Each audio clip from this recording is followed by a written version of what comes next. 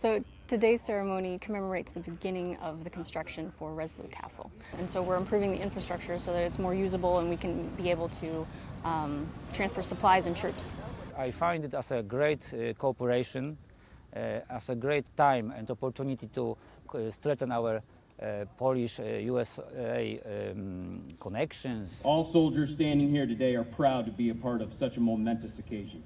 We know without your steadfast support, none of this would be possible. We have seven construction projects. We have the FSSP, an ASP lightning protection system.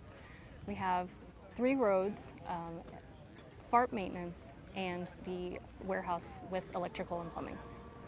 I, I feel proud to be out here because it, it allows us to show that we are able to conduct engineering operations in any type of environment. I'm just really proud of the soldiers. Uh, they worked really hard to get here, and it's nice to see it finally come to fruition.